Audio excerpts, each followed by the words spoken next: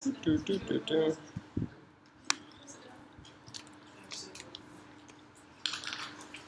Welcome everyone to my dev talk on functional reactive programming with Cycle.js. Uh, it's a little bit impromptu, so bear with me if there's any, any rough parts. Um, Michael knows exactly what to expect when I say things like that. Yeah, so have some slides. Oh yeah, uh, ask questions at any point. This is this was I have five days of experience with this framework, so I still remember what it felt like to not know what on earth any of this is. So ask questions, and yeah, it'll be great.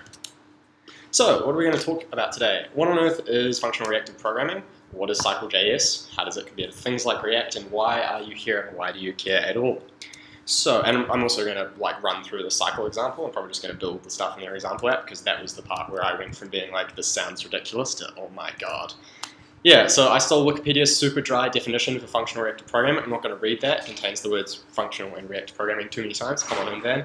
Um, pretty much functional reactive programming is an entirely different paradigm of programming compared to the like traditional ones that we would normally work with, like imperative programming. And so functional programming, I'll just quickly define for anyone who hasn't really, um, I'm assuming I'm just going to go for it. Functional programming is pretty much um, a way of programming where you think about like things in terms of data and functions as opposed to like objects and instructions. So uh, you come across this in Ruby when you use tools, enumerable tools like map and select and filter and reduce. Those are all like functional ideas. Ruby's um, block syntax, the fact that you can pass functions into a block and it's like done in a relatively first class way, those are all very functional ideas. Reactive programming is pretty much this idea of like when we're working in client-side JavaScript, a lot of the time we're working with um, asynchronous event sources. So that sounds a little bit scary, but you can think about it in terms of like when a user clicks on a button, that is, that is an event.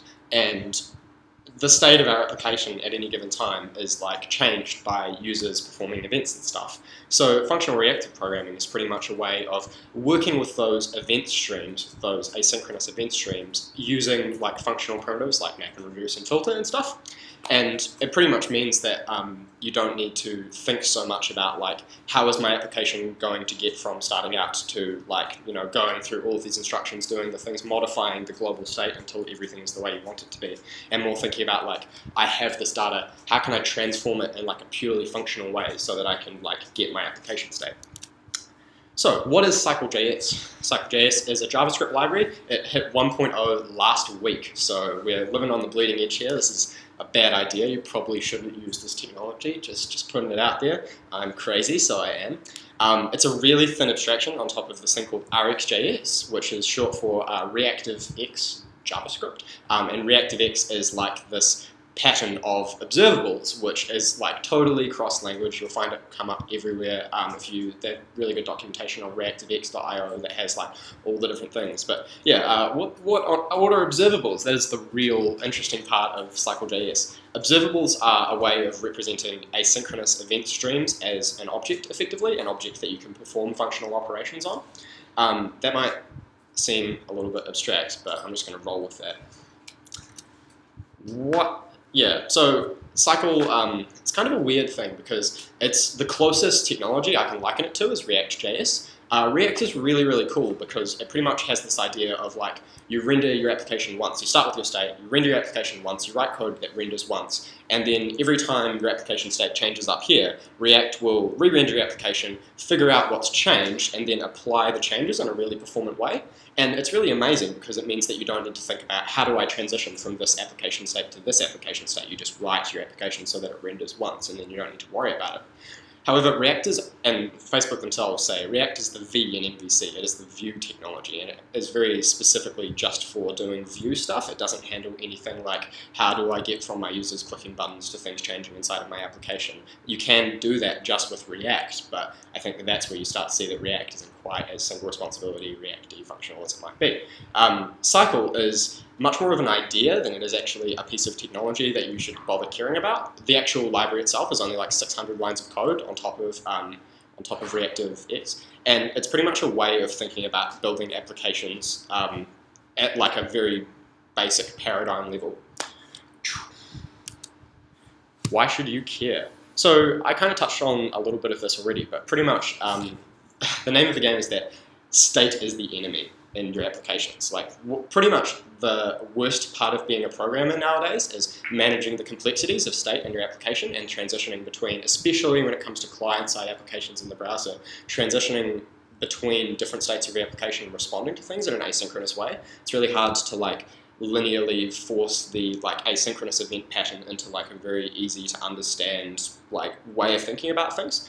Functional reactive programming lets you work with asynchronous event streams in such a way that you don't need to try and like wrangle it into a imperative instruction based mindset. It's much more just like you can express how your application should be based on what you started with and it's like when I first looked at it, I was like, I just have no idea what on earth this is. I still couldn't trace the code execution through a CycleJS app properly, but I like once I started wrapping my brain around the fundamental paradigm shift, it was just like, oh my god, this is amazing. Uh, I can't really stress that it's really fun enough. Like I've just really been enjoying this. Yeah. So now I'm going to dig into the example stuff. Does anyone have any questions at this point? Great. Everyone knows everything I've been talking about. That's awesome. Okay, so functional unidirectional data flow. It's what we all came here to learn about, right? No, okay. Uh, this is actually the core idea inside of Cycle, and it seems like really strange when you first get it. Like I just did not understand what they were talking about in terms of human and computer interactions.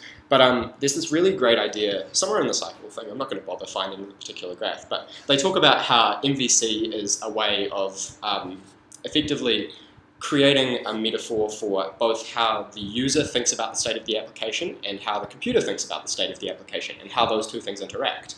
So in MVC, you can think about the V in terms of the user's mental model of the application. So that is your view. That is the HTML that you're sending down from your Rails application. And if you think about it in terms of like you go onto the Powershop website, when you go onto like the shop, we send down a whole bunch of HTML with images and products and stuff that tells the user like this is the state your account's in, these are all the products and stuff. And the way that the user interacts with that is by clicking on things and it sends requests up to our server. And then we get into like the model and controller thing. And that's really like we take the intent of the user and then we translate, we change the state of the application on the server and then we give like the current state of the application back to the user. But Cycle really gets into this idea of thinking about you can divide the human and the computer parts of your application and humans um, effectively have things that they want the computer to do. The computer has to make the change, and the computer makes that change, and it changes what the user sees. So you kind of have this cycle going on almost, which is yeah. So um, I'm just going to start building the, like, going through the really basic things. I'll, we'll do our first cycle app. I'm just going to, I think I have one here actually. Um, I committed, I went through the examples on the weekend and I committed everything along the way. So we can go through that, but I do want to type it out. So, doo -doo -doo. let me just bring this up. This is what a cycle app looks like. Is that code big enough?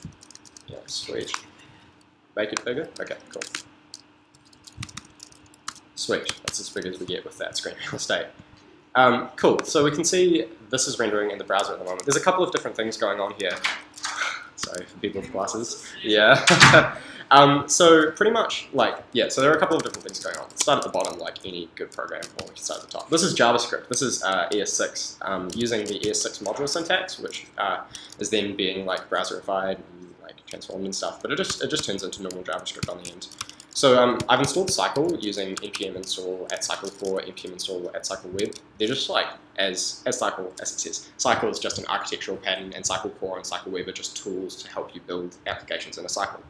So we have this main function. I'm just going to delete this for a second. Um, so we have this main function, and the main function takes in um, responses, and I think it returns requests. And um, pretty much like this is our entire application when it really comes down to it. It is a loop that is called over and over again, and the result of the main function is passed back into the main function.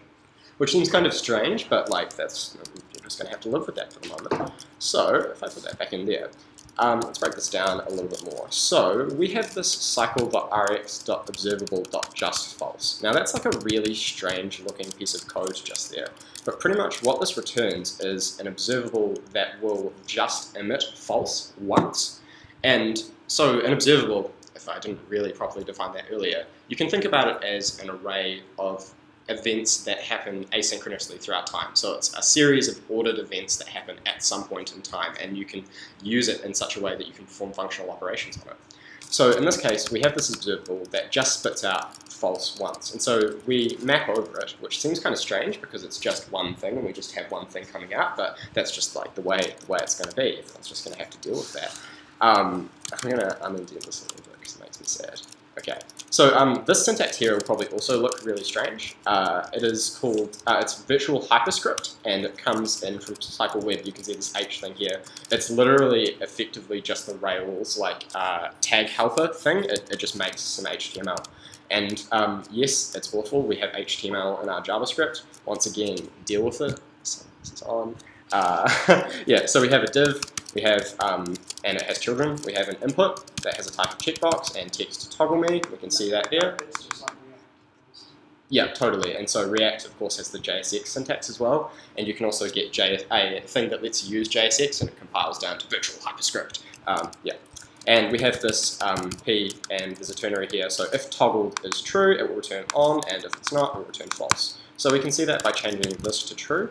Um, oh, I've got this sweet thing where I should not it should just automatically reload. It's not doing it, of course. Sweet, so that is on. It's not very reactive though, considering I have to change the code to get there. So let's make this actually work. Um, I'm just gonna go. I'm gonna go through the, the example because I can just do this or I can do it properly. Um, you know it's a good dev talk when they start reading the docs, eh? Do do do. So we do this in here. Sweet. So we have our checkbox app that is just false. So we want to change it so that like we need to somehow um, take the event stream that we get by uh, like clicking on that input and turn it into something that when we map over it, it will give us true if we've clicked on it and like false, well, true if it's selected and false if it's not. So currently we're using observable.just and we're mapping over it. But what we can do is um, pretty much, main takes in this, as I said earlier, this responses object. And so this is pretty much um, a way of thinking about like how the computer is, this is the computer's response for the current state of the application is the way that you can think about it. Uh, so what we can do with that is responses has this um, DOM thing inside of it. So we can go responses dot DOM, and this is really just like jQuery style, we can get some stuff. So I'm going to, um, this is effectively dot .on, so I'm going to say when the input changes, um, I can map over, that'll give me an observable that is a series of events.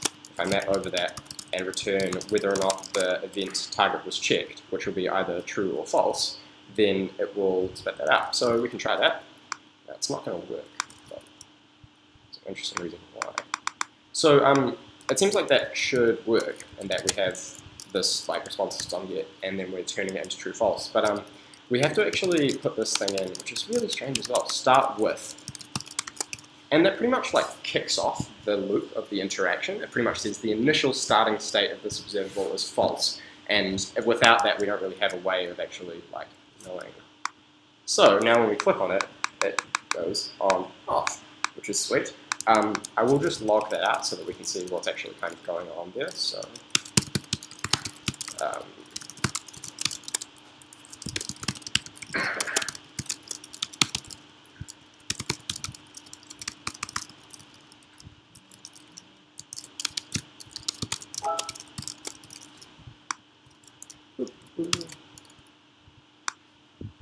so yeah, so when we click on that, you can see it spits out true or false down there. So let's just recap that really quickly. We have um, this responses.dom.get thing that returns an observable, which is a stream of like events when you know the click event, just exactly the same as if you did a jQuery.on input change and then you pass in an event handler. The only difference is that we are like performing functional operations on the stream. So it goes from being a bunch of events. We can if we dot map log that, then we can log out the events and we can actually see that those are just normal browser events. Uh, if that works. Yeah, so you can see change, it's got a target, it's trusted, current target. I don't really know what you get out of events, but it's just normal browser stuff. Yeah, just normal browser stuff. Yeah, totally. Um, sweet. So that's kind of like a really trivial example in that it doesn't have any state at all. It's so this is this would be like, this is an embarrassingly complex amount of code to solve this problem. so let's move on from that then. Um, any questions? Okay. Uh, git checkout.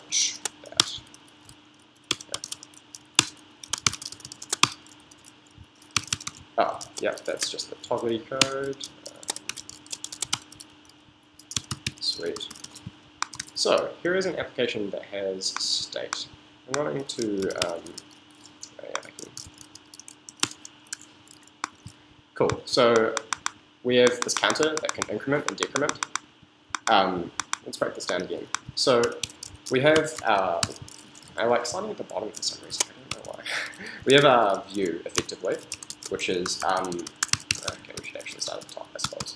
So we have this, um, we need some way of like turning a bunch of events for clicking the increment event and clicking the decrement event into what the current count is of those. So the way that you do this in um, CycleLand is you can, like we have this um, observable stream, so taking in DOM, and when we do a dom.get decrement.click, once again that's an event stream, and I'm mapping over that, when you click decrement, map over each event and just return negative 1. And it's the same thing for increment, map over that and return positive 1, the plus there, explicit plus. The really cool thing is now we can start getting into like more complex patterns of like merging observables together. Um, using the cycle.rx.observable.merge thing, it takes in each of those streams and then will return you a new observable that is the combination of both of those observables. So if I log that out, dot map log,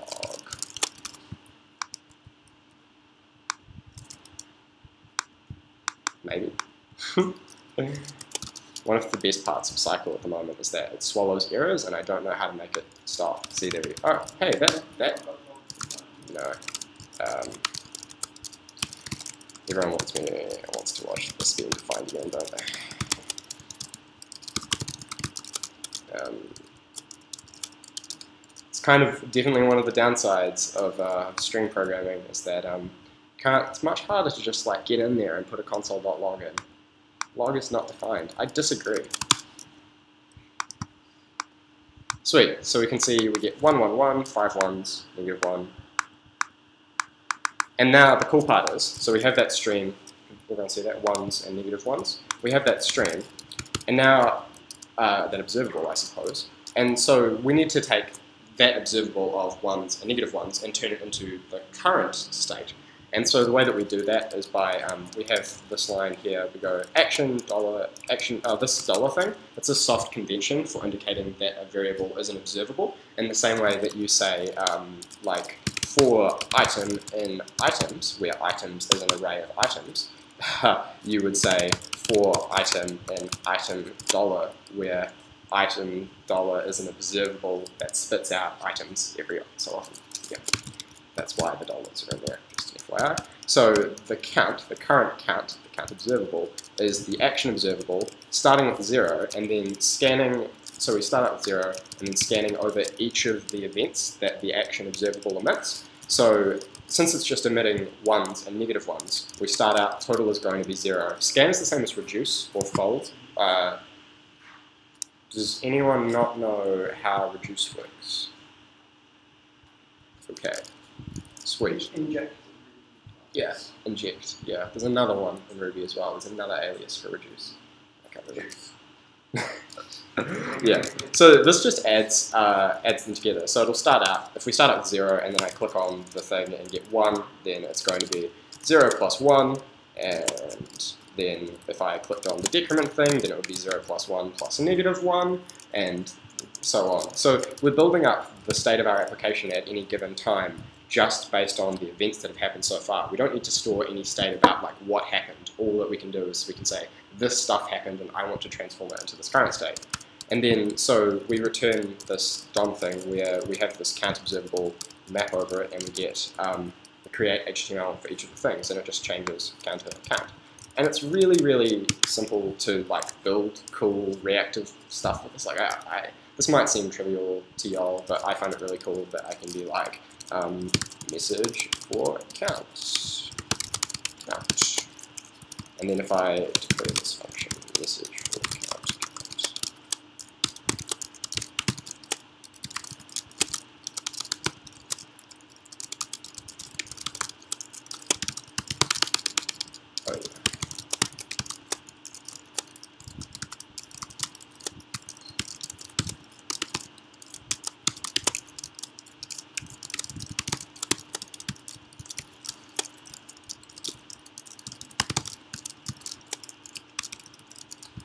Notice that it auto reloads the. It's pretty sweet.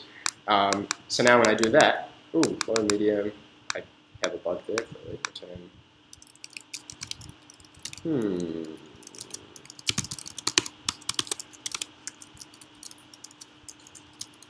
Oh, it probably just hadn't saved. This is the great thing about auto reloading code. You never know what's reloaded. I'm gonna reload that manually. So what happens to the stream of the so they figure out the life cycle of the 4500 application? Yeah, uh, it's a really good question that I don't fully know the answer to. Um, as I said, I can't really trace the uh, execution in uh, Cycle.js app yet, so I don't really understand. Um, it seems to me that it's done lazily and that it wouldn't need to, like, I think, yes, it would keep around all of the stuff forever, so potentially it might, I don't really know the connotations of, like, memory in regards to really large observables, but they seem to be uh, super, like, I mean, Has, this is the closest analog for this type of programming is actually Haskell stream programming, and uh, my understanding of like stream programming in general is that it has really sensible ways of addressing like memory usage of having large streams, but there's probably someone more educated on that that could comment. I think by default, the environments like this tend to just keep the, the current state of the, the observables. Yeah. Um, but you can usually modify them so that you can journal at the state at every point in time. So you can use environments like this to have uh, back in time debugging and uh, free play Mm. of your application. So you can reverse the actions that are being performed by reversing the stream, going back to previous points in the stream. Um, which is quite cool. Yeah, sweet. So um, I'm just going to show you a few of the things that I've been doing now, like the part that I got really excited about um, Cycle.js in. So their example goes on to build this BMI calculator with like sliders and stuff. Uh, so I weigh 68 kilos and I'm like 174 tall, so my BMI is 22.46. We can have a look at the code for that. Um, so this is kind of cool. Oh yeah, sweet. So at the moment, I'm just gonna make this bigger because we don't really need to see it anymore. Um, so I have this main, I have a stream of um, change weights, so whenever the weight slider changes, I map that to get the um, like float value out of it from whatever starts, oh, they have a range that you provide them with down in here, so you say range min 40, max 140, and it will just give you the number between that on the slider, which is really sweet. And then the state of the application is um, we combine the change weight stream and the change height stream, and we do the BMI calculation inside of here. So that's like really cool. So we have two different asynchronous things happen, happening, and we can work with them and effectively as like it's not actually a synchronous way, but we can write code that is totally oblivious to the fact that those things happen at different times, and we don't need to worry about if one happens, we want to do this, if one happens, we want to do that. It just says, give me the latest change weight and change height, and then I'm going to return this weight and height and the BMI.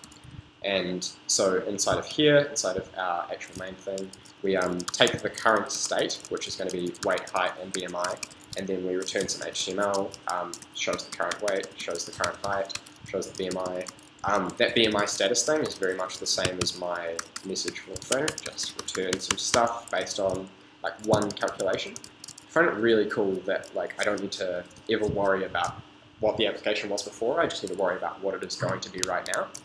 Um, so that's like, yeah, that's a bit more of a complex example. Um, I'll show you what I got up to last night though. Things got a bit more interesting.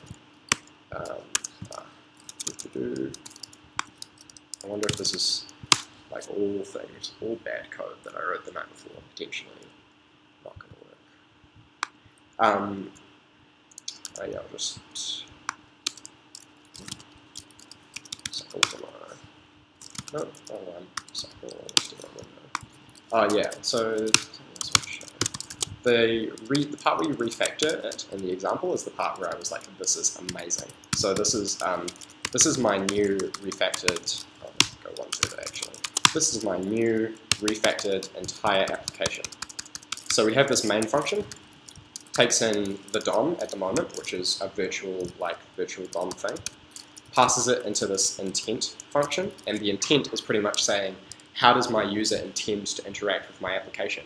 In my case, I have these two observables, the change weight dollar and the change height dollar. That gets passed into this model function.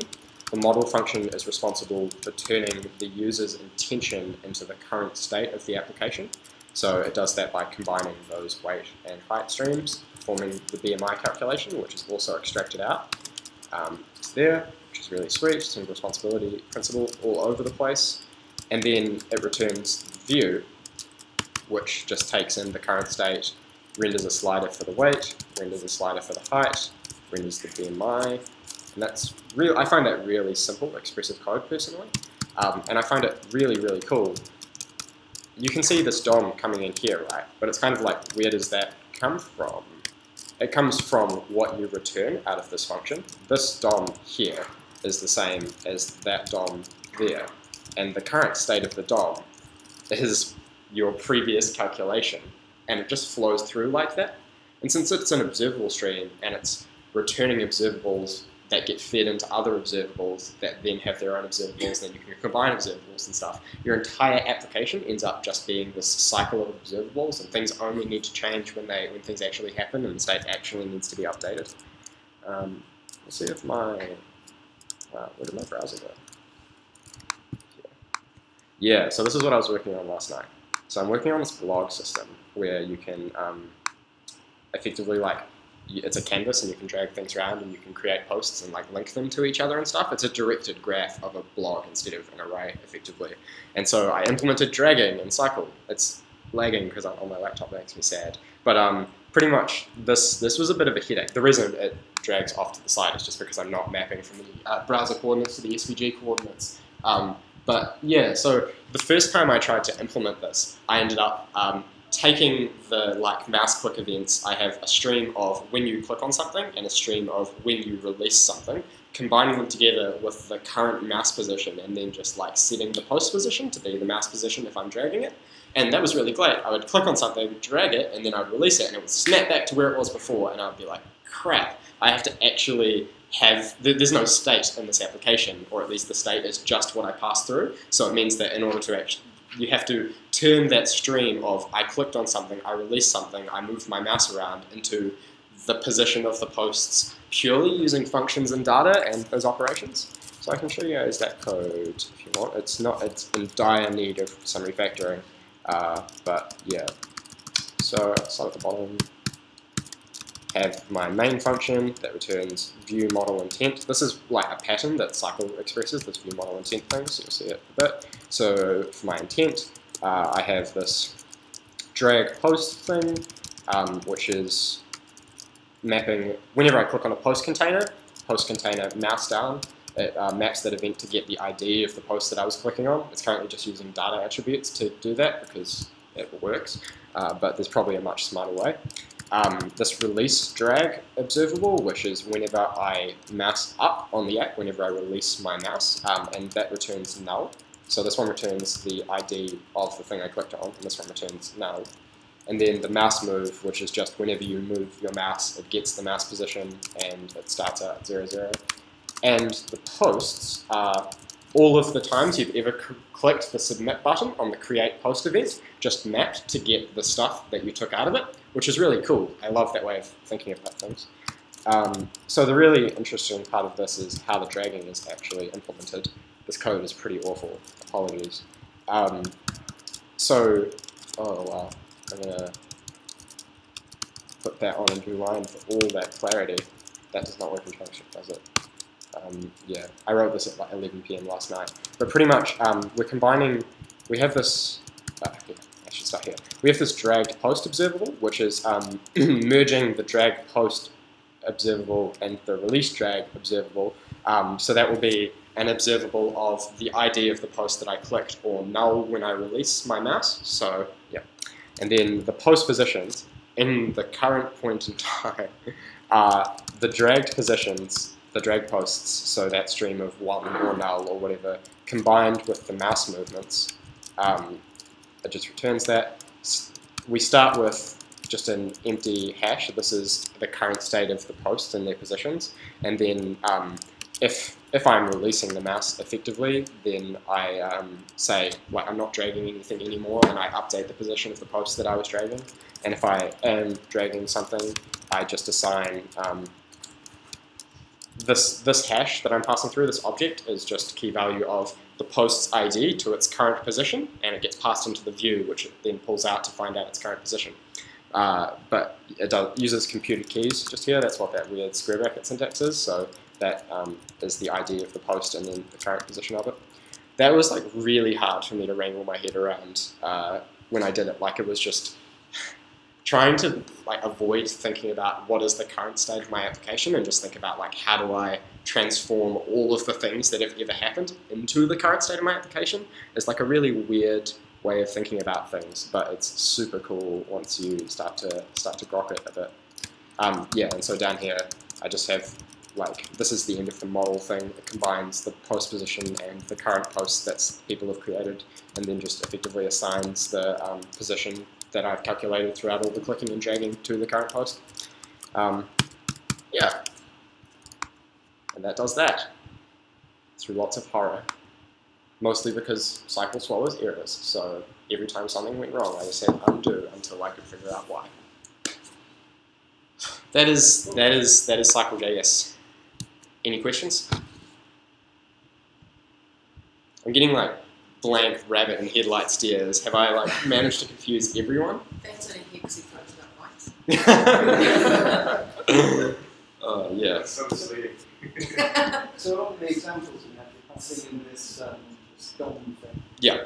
Presumably that doesn't have to be the whole DOM, that could be just a small portion of it. So you should be able to compose things together into small components. Yeah, totally. And so React has this, uh, we- have down here, when we do cycle cycle.run, um, we pass in DOM, make node driver, and then you just pass in an ID in here. In this case, I think it's passed in by just a piece of JavaScript, but it is literally just like mounting that inside of a particular ID. So React has this idea of components where like you break down your entire application into components and that's how things get really cool. Cycle doesn't have like first class components. Um, it has it adheres to the web component standard. But it's really interesting in that making a component in Cycle, you make a custom element, and that custom element is itself a Cycle application and has its own self-contained loop going on. And so um, the, the easiest way to refactor things is really like just what I've done here, which is just breaking out functions that render things. And I really like that way of doing things because it's incredibly easy to test and to like reason about. Like you don't need any of complex like mounting and all of that different stuff. It's just like your application state. So yeah.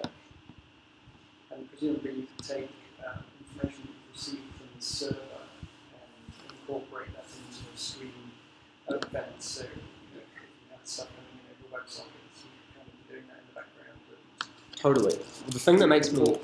The thing that makes me most excited about Cycle, something I haven't actually got to do yet, is um, synchronizing with the server because it's it's really this is when the like joy of um, like why this is cool starts to come out. Because if I have like this current post like observable that is just all of the posts on their XY or whatever, if I wanted to synchronize that with the server, it would be like current posts uh, dot on change dot uh, the, uh, this isn't real code, but this is the intention uh, dot debounce. So we only want to update every two seconds, and then just like that would be the entire thing, and that would be like whenever the state of the application changes, but no more than every two seconds. Send that to the server, and then yeah, you could totally like um, have you could call the server either just with polling or with WebSockets because uh, cycle um, you can create observables from promises and callbacks and anything else asynchronous in JavaScript land. So you could just build a really simple jQuery poller to get the state of your application and then just combine the state that the server is sending down with the state that your users are sending up and then just like combine that as another stream that you then update the server with and it would just be beautiful and declarative and just work. Yeah. Um, it- this is I, I feel like this is probably a relatively confusing dev talk, but I highly recommend that everyone um, goes through the basic example page on Cycle if you're interested in this. I'll post the link in um, devs afterwards. But for me, just going through the code and like writing out all the stuff myself was enough.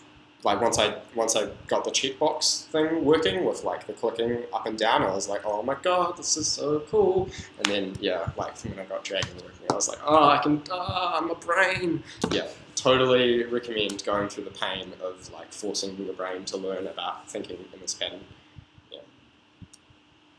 And this is pretty much a, um, browser side